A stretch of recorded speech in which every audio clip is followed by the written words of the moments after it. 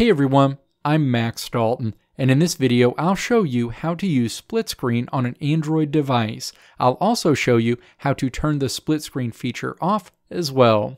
Android devices make multitasking easy by giving users the ability to run in a split screen mode. Splitting your screen lets you run two apps at the same time side by side you can easily adjust the split screen to give one app more space than the other, and you can also quickly swap apps in and out of the mode.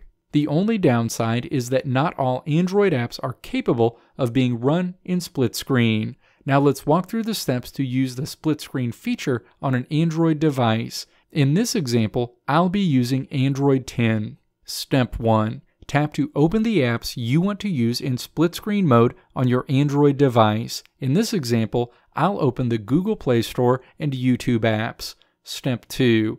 Tap the Recent Apps icon in your device's menu along the bottom of the screen. All of your currently open apps will be displayed in a row on the screen. Step 3. Hold your finger against the icon for the primary app you want to run in split screen mode to open a menu, and then tap Open in split screen view. In this example, I'll set the Google Play Store as my primary multitasking app. A minimized version of that app will be shown along the top or side of your screen. You won't be able to replace this app in split screen mode without closing split screen. Step 4. Now tap the other app in the list that you want to open in split screen mode. The list of apps will close and the apps will be displayed in split screen mode.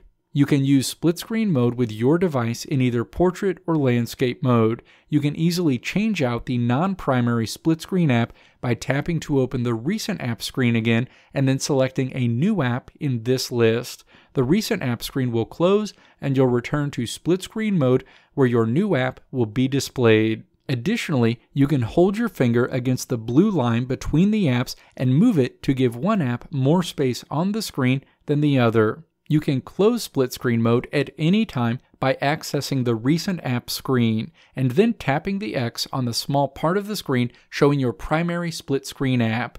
That app will return to the row of apps. Any apps you open going forward will take up the full screen. Let me know what your favorite Android device is in the comments below. If you liked what you saw here, click the video links on the right side of the screen to check out another video or click the logo on the left side of the screen to check out my website to see more great tutorials like this one.